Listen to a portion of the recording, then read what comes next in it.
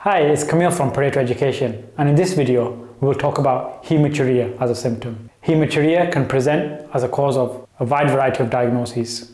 You should consider the kidneys, the ureters, the bladder, and also the reproductive system when considering hematuria as a symptom. And obviously, it'll be different for men and women. Always ask in hematuria histories about sexual health risk factors because this can be a causative factor for this symptom. And for some patients, it is very important to refer to urology clinic if needed for further investigations, scans and cystoscopy. So let's see a hematuria history in action and we'll take it from there. Hi, my name is Camille. I'm one of the advanced clinical practitioners at the GP practice. Can I start by taking your name and date of birth, please? Yeah, I'm uh, John, John Smith, um, and I'm 58. Uh, nice to meet you, John.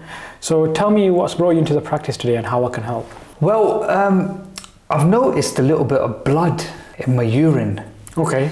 And at first it was, you know, I thought it might have been a one-off. Mm. But it's not really a one-off, which is why I thought I'd come and see you. Well, you definitely did the right thing, and it's one of the things that we ask patients to come in and see us about. So, so yeah, that's definitely something that we should check out a bit further with some more questioning and some investigations, perhaps. So, tell me about this uh, blood in your, your urine. When did you first notice it? Well, um, I think we're probably going back about maybe three weeks, three or four weeks. Okay. So I just went to the loo. It was in the evening.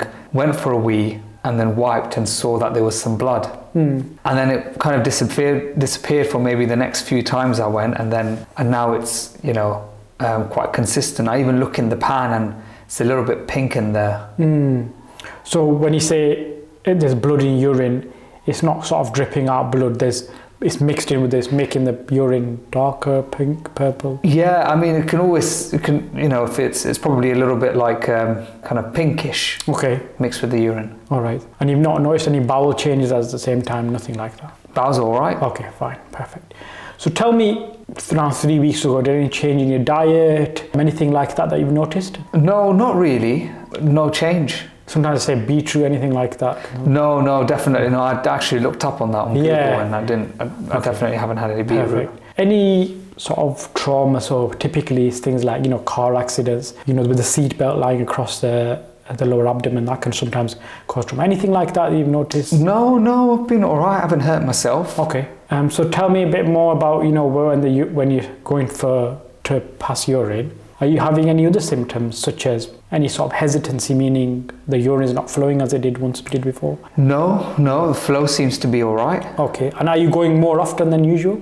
Uh, not quite. No. Not really going more often. So not, do you normally go in the night once or twice or no? Normally once a night. Yeah, Yeah. but that's not really changed since. No, no, definitely Okay. hasn't changed. And when you're passing urine, is there like a burning sensation, stinging sensation, any change? No, d- definitely no burning, no stinging. Okay. And you're going the same amount during the day as well as you would previously? Yeah. Okay. Yeah. You having any lower back pain um, associated with this? Um, not not quite in the back. Okay. Uh, not quite in the back. All right. Um, and you, you're sort of drinking same amounts of fluids and things that you did previously?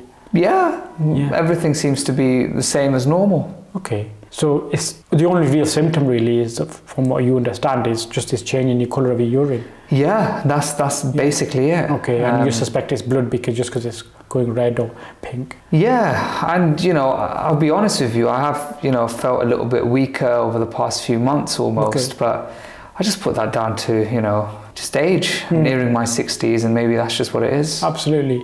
So tell me about this. You're feeling weak. Um, have you experienced any weight loss? I have, Hmm. in fact, I probably won't be able to tell you how much weight I've lost, rather, Hmm. um, but I've definitely lost weight. And how do you quantify that? Is it because your clothes are getting looser or Yeah, people I've have gone, commented? I've gone down a belt size, Okay, and yeah, I just feel like I've dropped off some weight. okay. And do you feel more? You said you're feeling low in energy. Is that something that you've noticed as well? I just feel worn out. Okay. Um, just not very, not very. Appetite the same? Uh, not as great as what it used to be. Okay. I'm a big eater Mm. normally, but I don't really feel it much now. Okay, all right. Yeah, it's not the same. And another thing I wanted to ask you, um, obviously it's quite personal as well. Any discharge you've noticed? No, no discharge. No. Okay. Any sort of you know new growths around the penile penis head, anything like that? No, no, You have not noticed that. nothing okay. like that. And again, obviously it's personal, but it's within the confidential realm of this consultation, and we have to ask this. Any change in sexual partner? No, no, I'm just my wife and um, Okay. been together for many years. Okay. Tell me about. I'm going to ask you more questions about your past medical history, if that's okay. Please. Have you got any other diagnosed medical or surgical issues that I should be aware of? Uh, I've got high blood pressure, Okay. uh, but it's not it's not high at all. I'm on I think um, I'm on amlodipine, Okay. but only a re- only the introductory dose. Okay. And I've been on it for about four or five years. And is your blood pressure under control? Yeah, yeah. Every review is normal. Fine. We'll definitely get that checked at the end of All the consult as well. So, no other medications. No, Are you taking anything over the counter? Um, things like pain relief, ibuprofen? no, No. Okay. Are you taking any sort of herbal remedies, anything like that at all? no, nothing. All right. Okay. Tell me about um, your sort of family history. Have you got any sort of in the male side? Have you got any sort of bladder, urology issues, anything like that? No, not no history of uh, any bladder problems or anything of the sort. Okay. Sounds like it's just me. All right. Okay. That's all right. And So a little bit more about your lifestyle. Do you smoke at all? I'm afraid I do. Okay. How many do you smoke a day? I mean, probably about 20 a day. 20 a um, day. For as long as I can, I can remember. Okay, for many years. Any alcohol use? No, not really. Never been, never been one for the drink. Okay, all right. And what's your lifestyle like? Is it more sedentary, active? I mean, I'm, I'm kind of tailing off. I mean, I've, I've worked in a factory all my life, Mm. and um, in that, I've been working in textiles. Okay, But you know, I'm almost 60, so I'm, I've cut down part time, and kids are older, and etc. So right. less pressure. Okay, that's fine. So, Mr. Smith, based on what you've told me today, I'm likely to refer, refer you for some further investigations. All right. Okay. I mean, I'm, I'm hoping it's not anything serious. So, one of the differentials uh, that we, we're looking towards could be potentially something serious, but I want to rule out a few things first. Okay. So, what we'll do is we'll get a urine sample. hmm So that will give us an indication of whether it's truly blood, anything like that. hmm And we'll get some blood tests as well. Okay. This will be able to tell us about your kidney functions and these kind of things. Okay. All right. Just based on the symptoms you've told me about the weight loss, um, you know, feeling a bit lethargic, Mm. and you know, this potentially this blood in the urine. Mm. I potentially want to, based on these symptoms, I, want to refer you to a fast track wait clinic. Okay. Okay. Some of these symptoms that you've described may point towards a more sinister diagnosis. Such as. um, I don't want to scare you, and but it's something I must be upfront and honest about. Sometimes these symptoms can be uh, associated with uh, bladder cancer. Okay.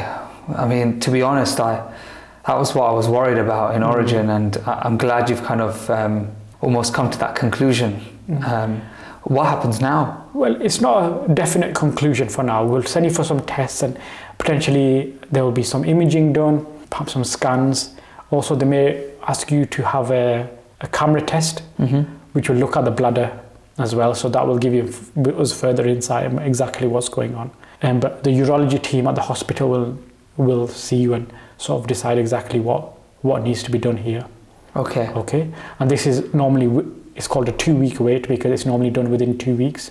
Right. And if you don't hear anything, then contact us immediately, and then we'll we'll chase that up for you. Okay. No, uh, thank you very much for that. Um, okay, yeah, that, that's my pleasure. And I'm sorry that this is uh, what I've told you today. Obviously, we want to rule out these serious things and catch them early if possible. Yeah. Okay, if your symptoms change, for example, if you're unable to pass urine at all, or if, for example, there's r- r- very red urine, such as you know it's actually bleeding, the red blood coming out, then that's something that you need to get to A&E immediately for because that's a serious sign. Okay. All right. Thank you. So I'll get that referral sorted now, and we'll do some uh, other checks like the urine test and the blood test as well. Okay. hmm Any questions? None at all. Okay. Thank you very much. Thank you.